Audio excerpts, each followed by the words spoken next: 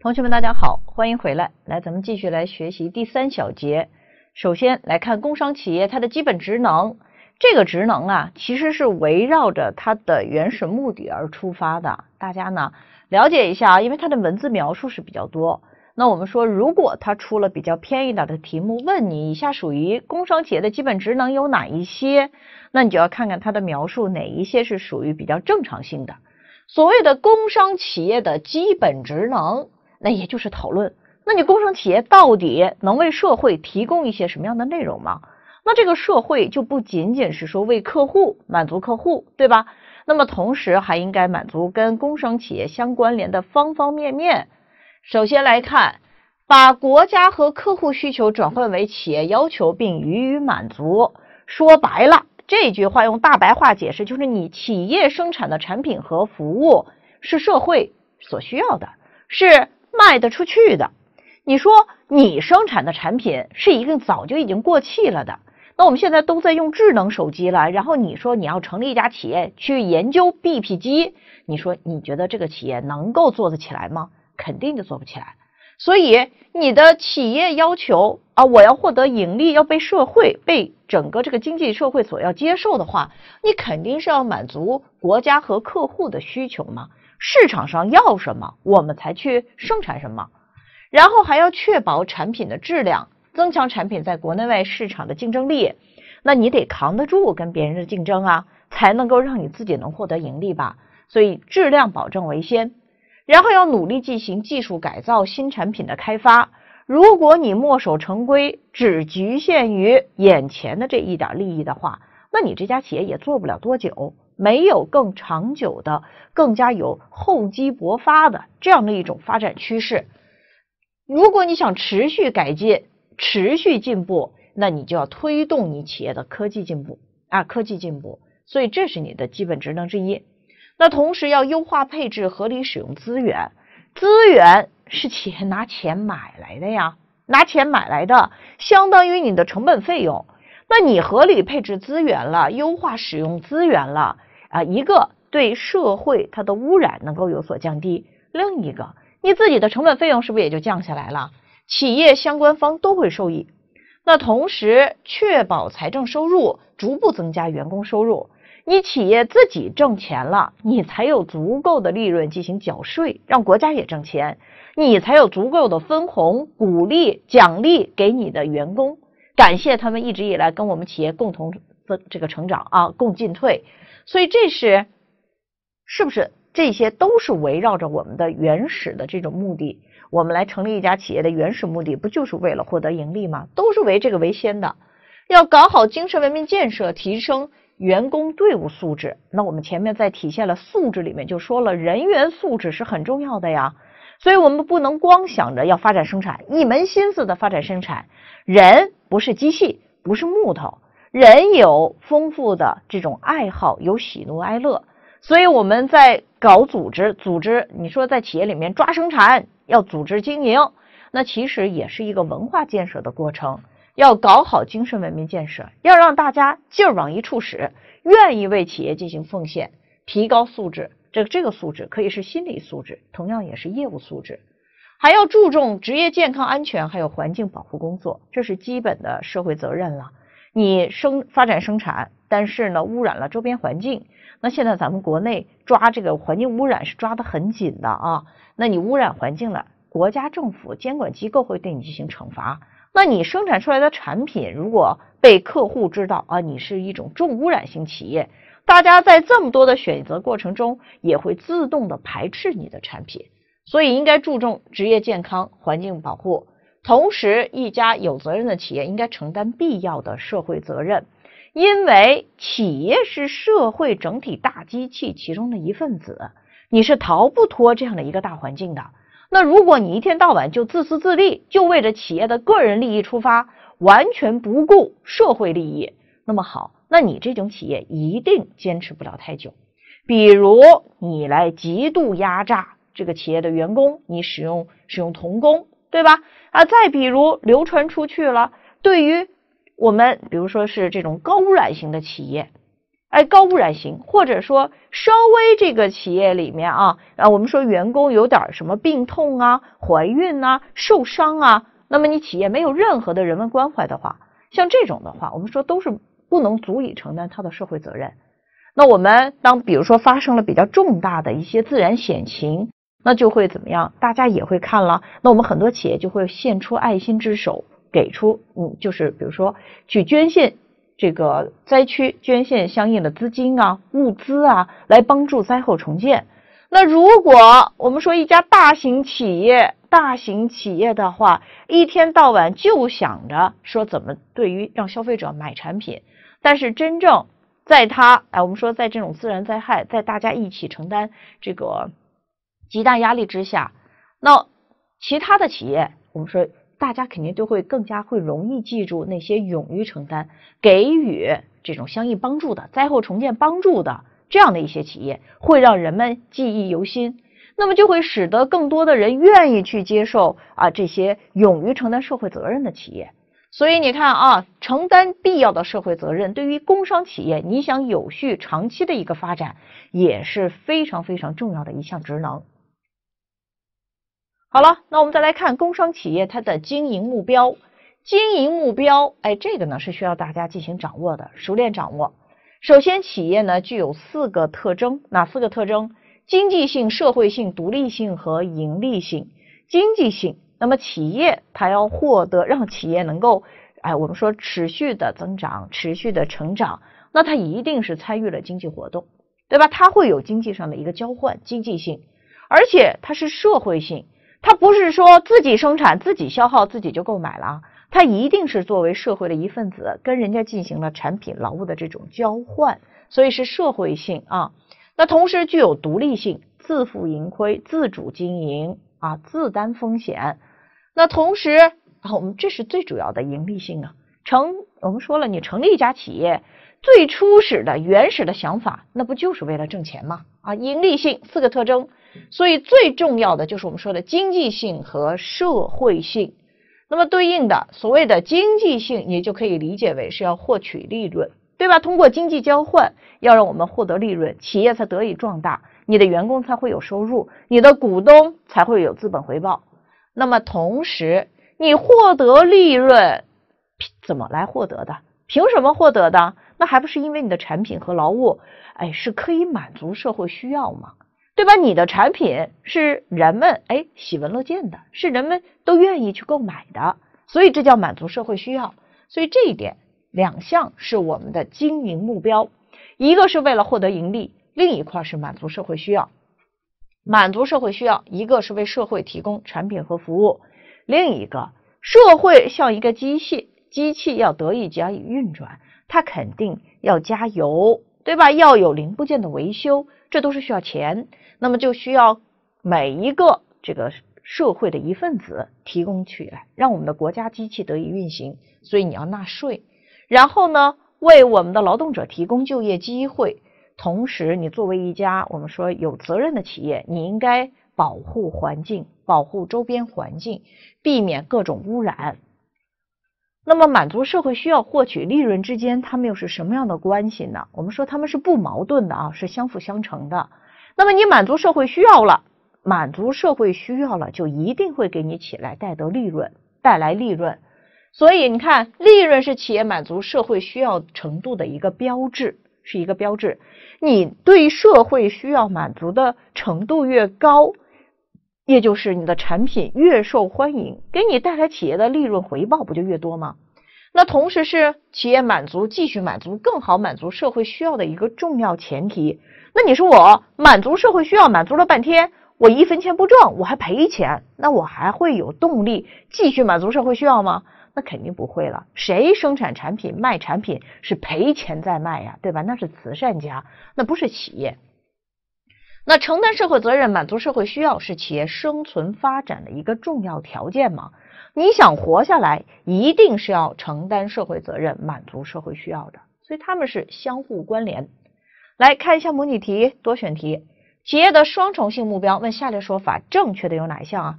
企业的双重目标在整个企业的发展中的分量是相同的。那这一点需要大家注意。我们说的双重目标没有说孰轻孰重，没有提到这样的一种说法啊。他们俩是分量相同的，那还是不相同的？没有从这个角度进行区分、进行讲解。所以这样的选项，从我们说谨慎的角度出发，不建议选。像这样的模棱两可的，不要选。满足社会需要、获取利润，两者之间是互为条件、互为补充的，它俩是互补的，没错。利润是企业满足社会需要程度的一个标志，对吧？我满足的好，大家对我的产品都需要，那我得到的利润就多呀，这个就是对的。利润是企业满足或者继续满足、更好的满足社会需要的一个重要前提，没错。都不给我带来钱，都不给我挣钱。别跟我提什么满足社会需要，是不是这个意思？那承担社会责任、满足社会需要是企业生存发展的重要条件，对的。所以两项相辅相成，互为条件。说法正确的除了 A，其他都应该选上。那我们再来看，一直刚才讨论了，从多个角度讨论社会责任是什么。那么工商企业的社会责任，咱们再进一步进行介绍。先要知道社会责任它的含义，是说企业。你在遵循啊，维护改善社会秩序、保护增加社会福利方面，你承担的责任和义务啊，说白了就是企业。我们一直说企业是整个社会大生产其中的一个小小一份子啊，机械大生产中其中的一个零件，所以你是在包含其中的。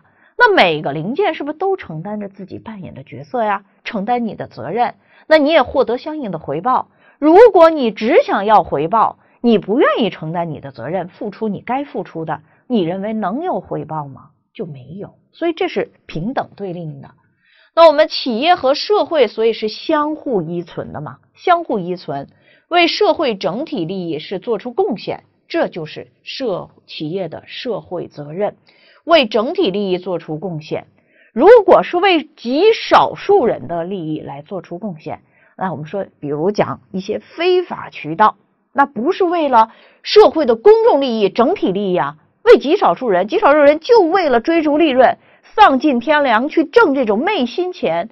你说这种企业能够得到长期发展吗？是不可能的，是不可能的。那只有你既考虑到大家的这种安危了，考虑到整个社会的发展了，哎，你是帮大家，比如说帮助社会来节约资源的。那你或者说我们开发这种产品，它的思路就是为这个购买者来节约相应的这个耗材的，那么一定会受到大家的追捧，大家的欢迎，对吧？那么有一些产品呢是高耗材的，哎，然后呢高污染的，那么肯定哎从社会选择角度来讲，它的未来走的道路就会越走越短。所以呢，你要知道啊，什么叫做社会责任？是为社会整体利益做出贡献。那我们社会责任具体内容呢？承担社会责任是企业协调外部关系的基础。这句话请大家记住，多次备考过单选题，就问你企业协调外部关系的基础是什么？就是要承担社会责任，因为你逃不开任何一个社会责任。你。把你的产品销售出去，这是企业跟啊企业跟客户之间的，对不对？是企业外部的吧？是属于社会责任的一部分呢。那么企业跟被监管的监管机构之间，遵照监管的要求来相应的进行开展经营管理，所以这也是一种跟社会的接轨，所以这也是外部关系啊。那么以及跟你的潜在的客户之间的一些互动。啊，跟你的一些产权方、债权方，跟他们这些关联方，他一个互动，都是属于哎，我们说承担社会责任其中的一部分。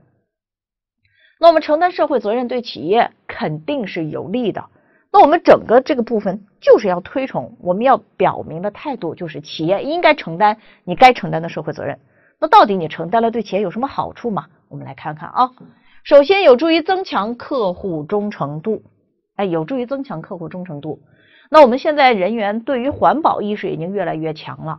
你说啊，我们两个这个产品，两个产品，一个产品为了生产它是要对整个大气污染，对于我们这个雾霾天啊，哎，它的排放指数是严重超标，使得工厂周边多少平方公里它的这个住居住民都受到了相应的污染影响。那么还有一个是环保达标型企业，是标杆型企业，那它的生产啊是可以造福周边百姓。同样的两个产品，那你会选择谁？肯定以现在人员的这种素质来讲，大家更愿意去选择环保的、达标的、对周边环境污染小的企业。那么一样的吧，一样的。如果有些企业，哎，人家专门聘童工，聘呃，他是让比如说监狱的服刑人员让他们来进行生产。那你想想，对于保护主义来讲，他们是不愿意，很多这个顾客是不愿意去购买，是这样的一些生产者。哎，去压榨他们的这些劳务所生产出来的产品的啊，所以你看，你如果是一个勇于承担社会责任的企业，可以增强客户的忠诚度，可以吸引更多客户来买你的产品，而且也有助于增强对人才的吸引力吧。一个企业是不愿意承担社会责任的，那我们可以认为这家企业是非常自私的。那么，对于一些高端人才、高素质人才。那他们在选择就职企业的时候，就不仅仅是看你能给我报出多少这个每月的工资啊啊年薪呐，对吧？不仅仅是看钱了，那他更多的是要看看未来的发展潜力，以及对他自己的工作履历上他的一个贡献水平。如果这家企业在业内名声极臭，他给你报的再高的价格，你在他那儿去干几年，对你的整个的这个就职的，我们说了这个。工作在职的这种履历经验来讲，不一定会有好的帮助，所以这些人才更愿意去参加到勇于承担社会责任的企业，有在业界有良好声誉的企业，而且有助于改善监管环境吧。你是一家我们说了啊，一天到晚污染排放，对吧？一天到晚不顾劳工死活，像这样的一家企业，你监管机构对你能够放松监管吗？那肯定还会对你高度重视，而相反。你是一个勇于承担社会责任的，勇于承担社会责任的，处处是以社会整体利益为出发在考虑的。那当然你会添会增加你的相应的管理成本，但是但是监管部门会因为这个原因去放低对你过度的一个观察，因为你没必要啊，你其他这项都做得非常好啊。那么同时第四项有助于降低市场壁垒。其实现在在国际上啊，在国际上其实也有这样的一些评估办法，或者说有这样的一些准则。如果你能够通过它的这样的一种准则，也就是说来证明你是一家勇于承担社会责任的企业的话，那么更容易被当地市场所认同。所以这是它的有利作用四项啊，大家小心多选题。那我国企业承担社会责任肯定是非常有必要的。它只是从这几个层面来解释，那我国企业为什么要承担社会责任呢？有什么样的必要性？那首先是构建和谐社会的必然要求啊，社会要发展，要有序进行啊，这个我们说要进步的话，当然就希望各个企业都是勇于承担社会责任的，同时是社市场经济体制发展的必然要求，也就是市场会做出优胜劣汰的自然选择。而且有利于企业树立良好的企业形象啊，一样的吗？这就跟前面其实它的优点就贯穿来了。企业形象好了，你就能吸引更多的人才，你也能够维持跟客户的稳定关系，所以有利于它创造广阔的生存空间嘛，也有利于企业员工形成共同的企业价值观，保证企业正确的经营方向，是不是？像这些条目啊，跟前面其实是贯穿异曲同工之妙，把这些相应的优点，哎，你看清楚就行了。来看一下模拟题：企业在遵守、维护、改善社会秩序、保护、增加社会福利方面所承担的职责义务，属于企业的叫什么？这就叫做社会责任啊！直接说它的概念性内容。好，那我们再来看一下第四小节内容。第四小节呢，针对工商企业管理，咱们整本教材就是在介绍工商企业管理。好嘞，那什么叫工商企业管理呢？把这个管理概念给大家介绍了一下，然后工商企业管理它的性质、它的职能分别进行掌握。首先看一下什么叫工商企业管理。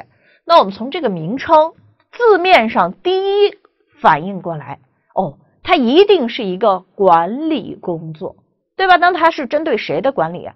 对工商企业的管理工作。那它具体包含哪一些呢？所以他是说，在一定生产方式、文化背景下，那么由企业的经理人员、经理机构，按照一定的原理、原则、方法，对企业的人、财务、信息这些要素进行计划、组织、领导、控制、创新、提高经济效益、实现盈利目标活动的总称。所以在这里面进行所说的这个部分，不就是进行管理的具体内容吗？所以工商企业管理这个概念就是告诉你谁在什么样的条件下来进行的具体工作，谁呢？经理人、经理机构。在用一定的方式方法，那么还要有一些企业要素，对吧？对我们的人财物信息这些要素进行管理。管理是什么内容呢？计划、组织、领导、控制、创新，然后以使得企业能够获得经济效益、实现盈利目标的一个活动总称。这就是工商企业管理的它的一个含义。那么看一下，理解一下它背后的一些内容。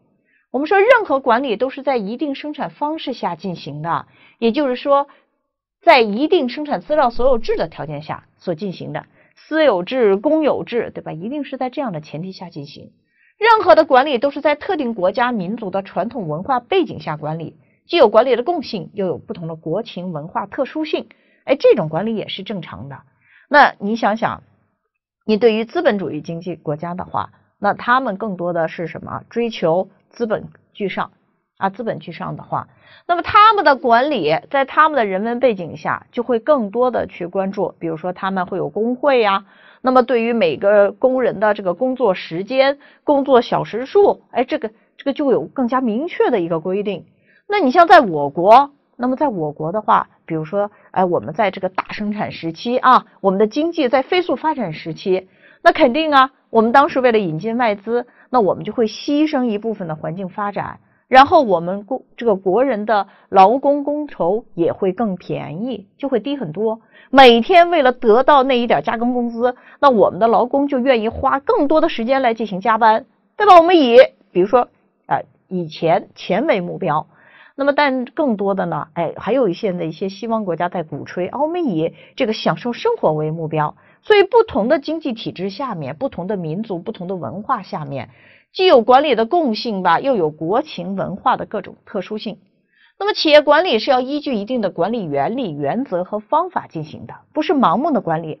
而企业的管理是一个非常深奥、科学的管理方法，是一门学科，是需要好好去进行研究学习的。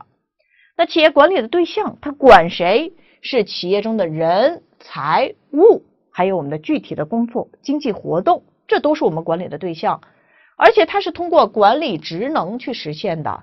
那我们的管理是有步骤，哎，来进行实现，要计划，要组织，要有统一的领导，要进行哎过程的控制，而且要不断的进行发展创新，以这样的一种活动过程来完成。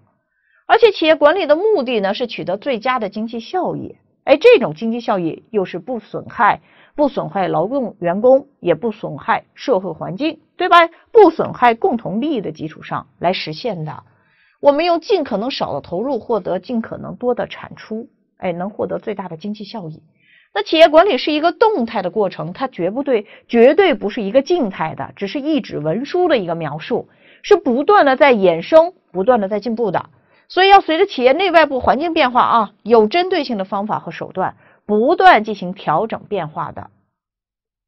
那我们再来看工商企业管理的基本性质，这个地方是需要大家熟悉的地方啊。基本性质，那管理有两重性，一方面有自然属性，那么就跟生产力发展水平还有社会劳动社会化程度紧密相关；另一方面也有它的社会属性，就取决于社会生产关系性质如何啊。这个地方呢，就把它的文字。注意一下，可以出偏一点的选择题。那我们生产过程的两重性，看一下，它是说生产过程决定的企业管理的两重性，就是由生产过程两重性决定的。这不是企业的生存过程啊，生产过程。企业的生产过程是生产力和生产关系的一个统一体，一方面是物资资料再生产，另一方面是生产关系再生产。好，我们来看一下工商企业管理的主要职能。主要职能这里面呢，它是可以针对标题性内容来进行考核。那我编了一个口诀，那么也希望通过这种口诀呢，给大家提供一个记忆的思路，因为本身咱们这本教材它还是更加针对这种专业性的介绍，对吧？它是专业性的介绍，那毕竟跟咱们日常生活还是有一定的区分，需要大家记忆的部分量还是不少的。那我们大家在记这么多内容的时候，要有一些方式方法，比如其中的一个方法就是口诀法。那有这么多左一个标题，右一个标题，你怎么记呀？那你就可以记它的关键字词，想办法自己串联成口诀，找到最适合自己的记忆方式。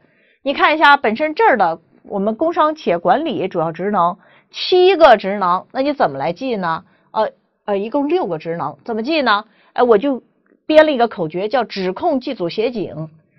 指，哎，是我们后面的有指挥；控呢，就是控制啊。然后计就是计划，组呢是组织，协呢就是协助，激警就是我们说是那种近音字，激励职能。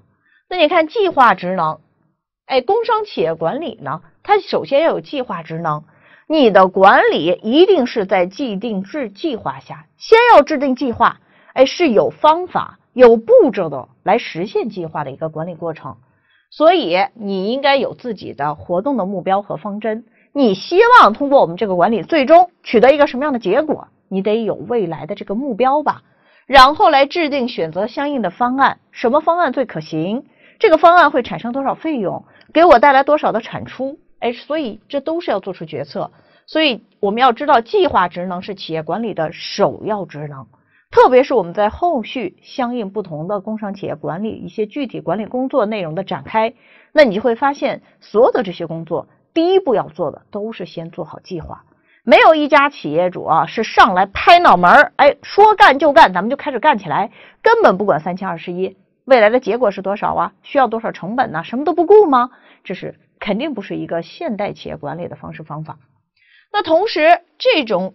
企业管理是要有组织职能的，这个组织职能，你要把不同的人、不同的物啊、不同的这种财力，要把它最佳组合。所以你看，各项要素、各部门、各个环节、各方面，你都要把它合理的组织起来，才能让效率最大化，对吧？产出最多化嘛。指挥职能就是对各级各类人员，你都要有序的进行领导。控制呢？控制其实，在我们这说的控制啊，更多的理解为监督。我们有计划了，那你在实际操作过程中，我们就要随时检验有没有我们的这个实际操作按照计划来达成。所以这就叫做控制，也就是监督啊，检查实际完成情况。如果不能完成计划，那我们就要查找原因，是计划安排的不合理，还是我们的具体生产过程中出现问题，采取必要的对策了。协调职能呢？那我们就是调节各方面工作，要建立良好的相互配合。光把自己的工作做好还不行，你应该要跟其他部门相应配合，不发生重复矛盾。激励职能这就更加是了，做得好的你得进行表扬嘛，对吧？激发鼓励大家实现目标，一起努力。来看一下模拟题啊，就容易这么考，问你企业工商企业管理主要职能是什么？指控、记组、协警、记控、机指有没有惩这个字儿啊？指控、记组、协警没有惩戒职能，所以 E 不选。只是以这样的一个口诀啊，给大家提一个记忆的思路。当然了，我们跟历年来学员的互动时候就发现，哎，很多学员特别有新意，一些相应的这种记忆部分，自己也找出了很多有建设性的，呃，这个有创造性的一些记忆方法。那这些口诀因人而异，呃，有些时候老师不方便给出太多口诀。你说咱们整本教材说了那么多职能啊，说了那么多要记忆的部分，条条都是口诀，你光记口诀你也记不过来了。所以呢，每个人的记忆喜好不同，希望大家能够摸索找到最适合自己记忆的方法。好，那我们同学们先休息一下吧，一会儿回来我们来继续讲解第五节的相关内容。